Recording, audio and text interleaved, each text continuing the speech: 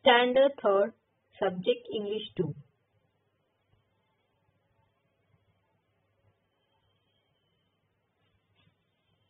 Revision Unit 1 Question 1 Essay Rainy Day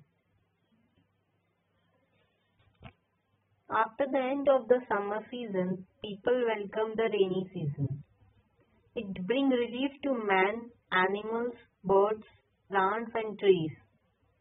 After the hot time, everybody welcomes rain.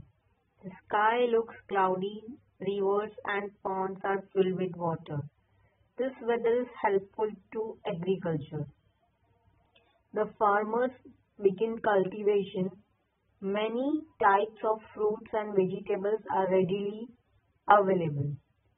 Rain gives crops and crops gives life.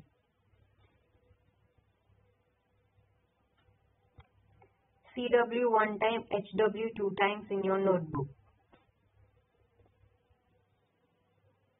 Thank you.